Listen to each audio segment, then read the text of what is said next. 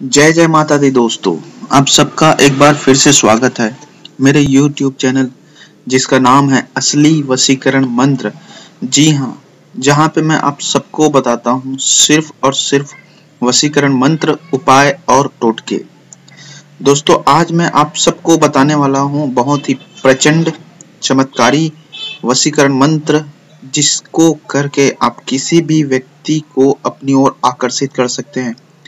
अपनी तरफ़ खींच सकते हैं। बिल्कुल उसी तरह, जिस तरह चुंबक लोहे को अपनी तरफ़ खींचता है। चलिए दोस्तों, आज की विधि मैं आपको बताने वाला हूँ। अब ध्यान से सुनिए और वीडियो को अंत तक ज़रूर देखिए, ताकि आपको पूरी विधि समझ में आए। कहीं भी कोई गलती ना हो दोस्तों। दोस्तों, इस वसीकरण के लिए आपको चमेली का जो तेल होता है, उसकी ज़रूरत होगी। चमेली का तेल ले लीजिए और एक दीपक ले लीजिए मिट्टी का। उसका आपको दीपक बना लेना है, दिया जला लेना है। और फिर जो मैं मंत्र बता रहा हूँ, उस मंत्र को आपको गुरुवार से लेकर सिर्फ़ दो दिन निरंतर जाप करनी है 101 बार। और ध्यान देने योग्य बात यह है कि इसमें आप माला जो है रुद्राक्ष की रखिएगा, और कपड़े आप पहन लीजिएगा, पीले कलर का वस्त्र, जब आप मंत्र जाप करेंगे उस वक्त। अब दोस्तों, जो तेल है उसी तेल का, जो दीपक में तेल बचा हुआ है, उसी में आपको चमेली का तेल मिला देना है और मिला देना है ताकि वो पूरी तरह से खत्म मत हो और उसी में के जो तेल है, उसको आपको वसीकरण के लिए प्रयोग करना है। अब कैसे करना है और कौन सा मंत्र है, इस चीज़ को आप ध्यान से सुनते जाइए आप। चलिए, मंत्र पे ध्यान दीजिए दोस्तों, मैं आपको उच्चारण करके बता रहा हूँ ताकि प्रोनाउंसिएशन में कोई गलती ना हो।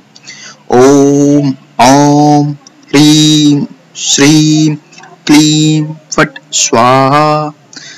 ध्यान से सुनिएगा, मंत्र को फिर से प्रोनाउंसिएशन में आप गलती बिल्कुल भी मत करिए। ओम ओम ह्रीम श्रीम क्लीम फट स्वाहा। जी हाँ दोस्तों, इस मंत्र को आपको मात्र निरंतर दो दिन ही करना है और उसके बाद जब आपका 101 बार जाप खत्म हो जाए तो उस तेल को आपको अपने ललाट पे, अर्थात माथे पे टीका लगाकर जिस व्यक्ति को आप वसीभूत करना चाहते हैं, उसके पास चले जाइए बस।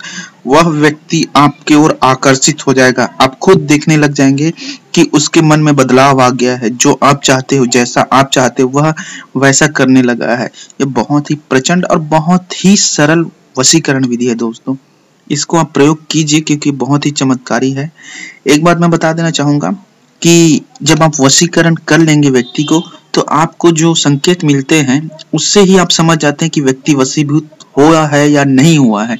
जैसे कि व्यक्ति आपके अनुसार चलने लगता है, व्यक्ति आपकी बातों को मानने लगता है, व्यक्ति आप में ज़्यादा इंटरेस्टेड होता है, आपकी ओर आकर्षित होता है।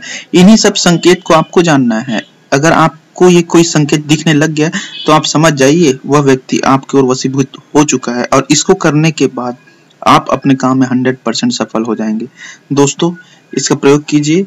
अगर कुछ दिक्कत हो कहीं पे आपको समझ नहीं आया तो मुझे आप मेरे नंबर में फ़ोन करके पूछ भी सकते हैं, जो कि इस प्रकार है eight nine six two eight four one five zero five सबकी मंगल कामना के साथ मैं फिर मिलूँगा। तब तक के लिए जय जय माता दी दोस्तों।